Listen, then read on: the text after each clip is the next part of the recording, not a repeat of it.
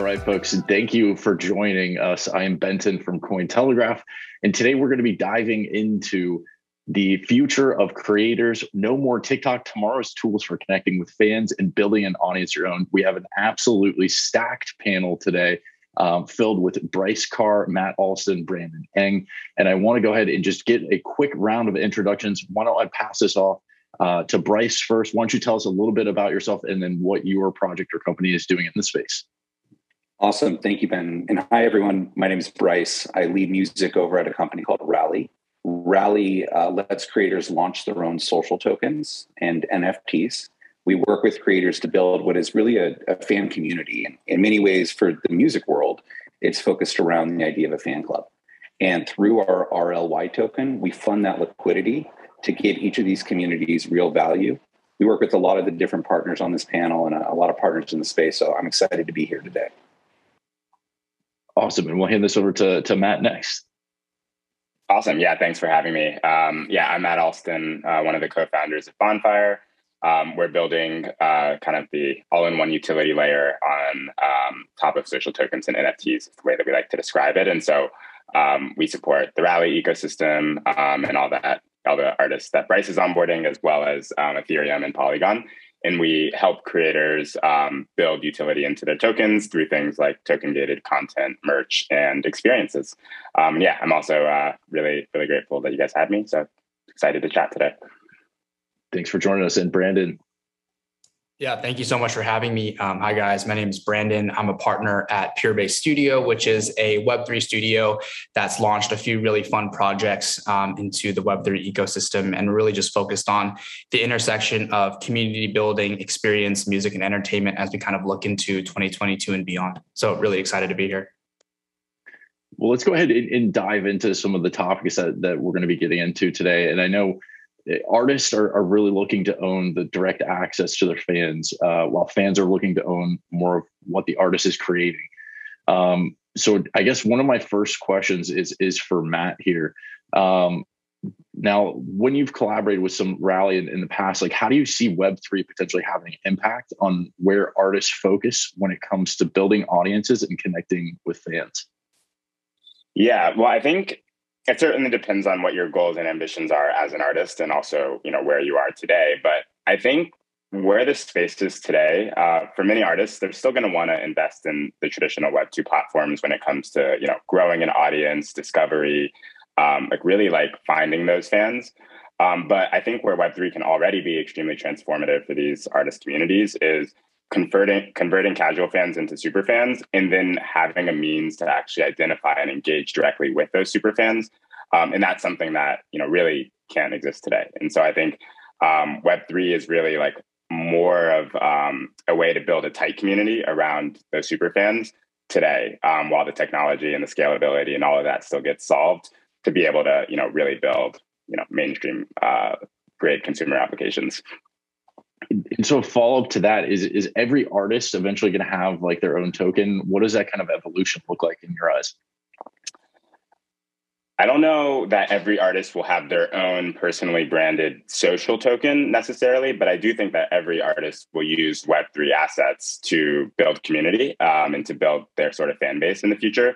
So whether that be nfts fungible tokens some combination of the two um, and then whether those NFTs are, you know, like membership passes to a fan club or, you know, event tickets or, uh, you know, the actual content, the music itself, I think that every artist will will be using assets that are based on blockchains just because the economics are so much better for them um, and not like incrementally so, but like dramatically so. And the value prop is also better for their fans and community. And so I think it's really a win-win um, I expect that every artist is using these assets, whether or not it's their own social token, if that makes sense. Yeah, no, totally. Uh, and those are awesome uh, insights there. Now, now, Brandon, I want to go over to you next. Uh, you've been helping artists make this transition. What are you seeing uh, emerge from from some of the most new valuable properties currently? Yeah, absolutely. I I think it kind of builds upon what Matt you know just said Um, but you know, when I when I spent a lot of time helping artists on TikTok, you know, what I found that TikTok did for artists was really democratize virality and attention. Right? If you're creative, if you're authentic, and if you're genuine, you could leverage the platform to drive scale. Right? You're driving tens of millions of people to your art or your music. You know, praying and hoping that some small percentage convert to listening to your song on a DSP. Right? I think what Web three really gives you, and like Matt just mentioned, is, is you're really able to now galvanize the super fans. Right? You're able to leverage leverage tools like Discord, like Twitter, like Laylo to kind of really bridge the one to one fan experience. And I think why that's flipped on its head is that instead of going to get 10 million people and hoping that 1,000 of them convert, you're really looking to get 5,000 or 10,000 super fans to really drive high value, you know, high value actions to kind of the project you want to push out. And when you're able to, to to really move groups like that you know niche communities that are supportive of you and your endeavors i think that really you know allows you to to really kind of grow and, and really put your art out there as an artist. So yeah like really interesting tools out there on the web 3 side that are being leveraged to to push out community to really cut through the noise for notification um, and, and to also combine that with like mass market reach. I think those are all sort of things that artists are now able to leverage you know as web 3 is kind of become more mainstream. I real quick, I'm I'm curious to hear Bryce like your insights as well. Like, I, what is one of the biggest emerging trends right now in this kind of social Web three space? Uh, what are you seeing emerge, and, and where do you think uh, like the the industry is heading in in the short term? Yeah, it's it really is a great question, and I think over the over the last years with the rise of DSPs, we've seen people become fans maybe of songs, but not really of musicians, right? People know these songs, they hear these songs, they come on playlists, they like it, but in some cases, they don't know what artist it is or how to be a true fan of that artist. And every now and then, an artist can have a fan kind of break through that noise, discover who they are, and they become what is essentially a super fan. I really think that a super fan deserves a super treatment. And I look back at when I was a kid and I was on street teams for different bands and you'd show up at a, a festival and you pass out flyers and say this band on this stage and everyone be there. And at the end of the day, you swing by the merch booth, the band maybe gives you a high five and sends you an MP3. You can't do that anymore like you could when I was a kid. Now I look at so much of what's happening in the Web3 world as a way for artists to give back to their fans. And by giving fans a coin or an NFT for completing some sort of street team action, be it pre-saving a song or buying a bundle with uh, with your tickets for a show, you allow the story to kind of extend beyond that one touch point to unlock future possibilities down the road. And when you empower your fan base, it's just natural for them to become more vocal and to better champion you as a musician. We know that word of mouth is the greatest marketing driver out there. And when I love a Web3 community that I'm in for my favorite artists, I'm sure is heck more likely to tell everyone else that I'm in there and help them join the community as well. That's that's an interesting point that, that you brought up. In in like I I guess like when we're talking Web two, Web three, and kind of this disruption of the the old model, um, like what is is are the Web two ever going to catch up, or is it the the new players in the Web three space that you think will ultimately provide that long term value uh, for the the super fans, like you said. And I'll, I'll pass this to Bryce first. Yeah, I mean, it, it, definitely touches upon some of the benefits of blockchain that Matt was talking about earlier from like an economic model. But I think we'll see a lot of these Web two companies embrace Web three technology now. I think you saw this a little bit earlier on with some of the music industry curious but cautious about Web three, and I think when you saw NFTs selling for a huge amount of money. That was money coming in that could have maybe gone to the label, right? And it's now in the best interest for the major media companies and the major rights holders to embrace this technology. And I'm beginning to see them do it in really thoughtful and smart ways. They're doing partnerships and working on strategic priorities for artists in ways that are beginning to make sense and not feel as artificial as they might have been. And Brandon or Matt, feel free to jump in here too uh, with with any insights. Yeah, I mean, the only thing I, I would add is I don't I don't really see Web three, at least in this sort of um, you know subcategory of Web three. I don't see um, it completely like disrupting or you know us no longer needing Web two platforms. But I think what it does do is it offers this like extremely valuable and formerly missing like ownership layer um, on top of the distribution and consumption innovations that we have seen over the last couple decades. It's just that the value was ultimately accruing to like you know a few people. And i think web3 offers the ability for creators to you know issue and sell these assets and those assets are you know recognized on blockchains and that gives them the ability to also port their fan relationships around the internet and you know monetize more deeply from those super fans but also reward them in ways that were impossible before. So i see that all as really like being complementary to what we already have in, in web 2 and so I, I do think that like bryce said the web 2 platforms will embrace this to some extent. I think that ultimately there will also be like very big web 3 native companies um, that unlock new possibilities for artists but i don't know if that comes entirely at the you know at the sake of web 2 platforms or if they go away entirely.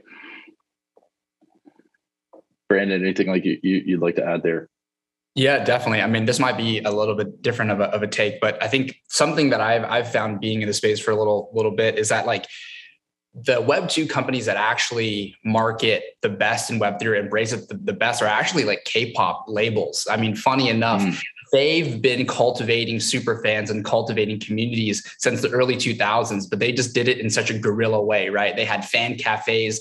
They were doing these you know they have photo cards. They do meet and greets. They really do understand how to really supercharge the super fandom to ensure that their groups you know meet you know high ceilings of success. And I think what Web3 gives, you know, to, to what Bryce and Matt said is now we have the tools, we have the foundation, and you have a bit more of an infrastructure to, you know, do this at scale. And I think where, you know, a lot of where Web3 will learn is like a lot of the guerrilla tactics, the guerrilla tactics that a lot of these folks in Web2 kind of embraced before there were the tools and the technology to deploy these things. I think a lot of those same things can cross over into this space and, and you know, marry really nicely. So I think, yeah, really excited to see where, where how a lot of this stuff kind of comes together and converges.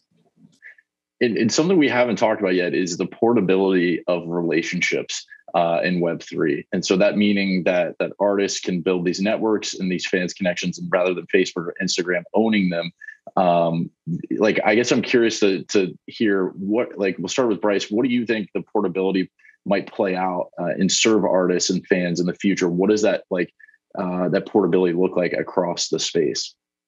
Yeah, I think uh, one of the things we're going to see more of are creators launching NFTs and social tokens, and hopefully there'll be interoperability or those will be on chains that can be shared across different resources. I look at what we just did with Bonfire for Portugal the Man, who we work with, and Matt and the team helped us kind of set up this Portugal the Man hub where anyone who was a coin holder could come to one destination. Portugal the Man then owns the relationship with all the different artists. And when they've done tours through uh, like a pre-sale code for something through Ticketmaster, they've used that hub as a way to generate pre-sale codes for ticketing. And then when they've done some gated streams for exclusive content or limited edition merch items, they're connecting in through Shopify and Bonfire to be able to make it work like that. So I think what this is doing is allowing almost a little bit more of like a Lego or building block approach where creators can pick and choose from marketplaces what they want to speak the same language as their their token and then scale out from there. I think with time we'll see more and more business entities you know like shopify is exploring this in incredible ways right now where you can just easily plug in your existing web3 community into tools that are offered by different companies and matt how do you think this this portability will play out here in the future with with artists and fans yeah, yeah i mean to be honest i think it's it's probably the most important aspect of Web3 for for these artists. And um, I think what it does fundamentally is it just shifts leverage from the platforms to the artists, the communities that they build. And so, you know, like Bryce mentioned, you know, an artist like Portugal the Man, because their coin is, you know, theirs and not belonging to any one platform, like they can use that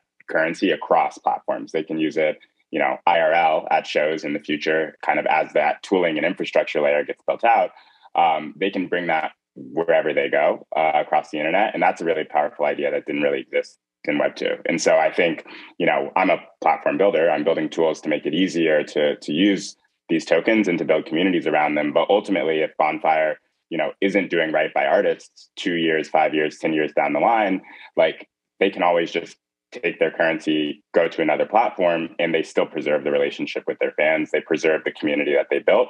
The only thing that they lose is the tooling.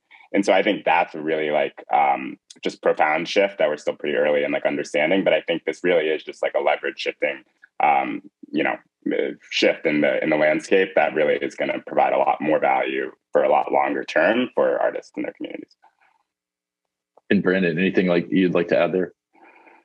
No, I think I think they covered covered most of it. I think a lot of the the same ideas.